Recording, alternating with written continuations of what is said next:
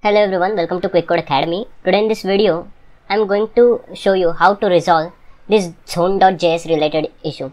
So, in your application, if you are uh, facing any blank screen issue, then first thing you need to observe is from the console.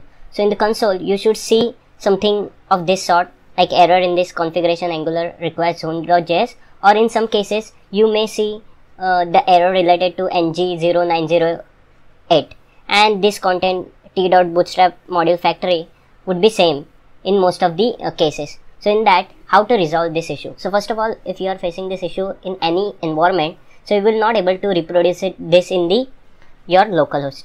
So how to reproduce that? So for that, you will have to create build in your application. So generally, we create build using ng build command, and if you are uh, configured uh, any package.json, so in the package.json, you can have the reference. So here in my package.json, this command is same as npm run build is same as ng build. So if you run this command npm run build, one dist folder will get generated. So in in my case, it is already generated. So if you see this uh, directory structure, here I am seeing one dist folder, and within this your app name folder, you would have all the files. So generally, this zone.js related issue when it comes, okay. So while running your application, this polyfills.ts file should load before main.js file.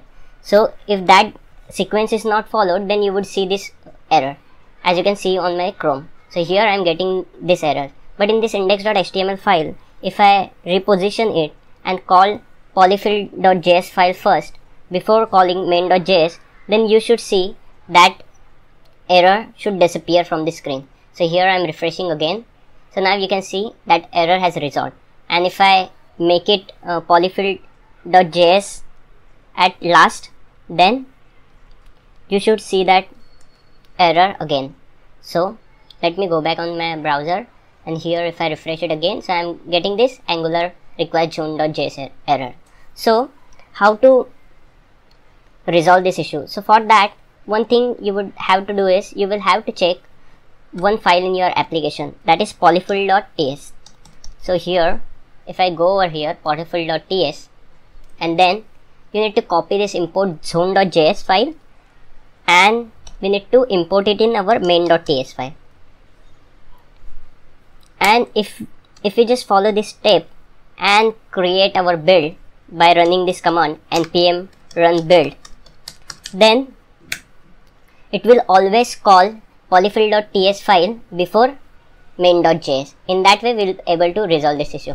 So here you can see we have we are calling polyfill.ts at last, but as soon as this build will get will get generated, the order will be sorted and polyfill.js file will be called before main.js. So let it run. So I have run one command npm run build, which is nothing but ng build, and once this build command is successfully executed, the build will get generated.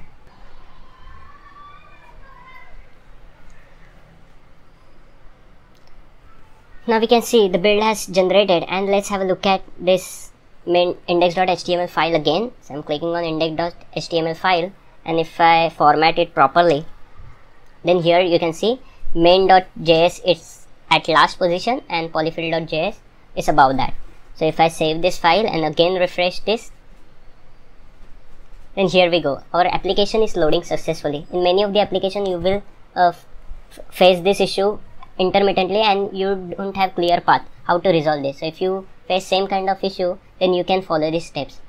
I hope this resolves your problem. Thank you.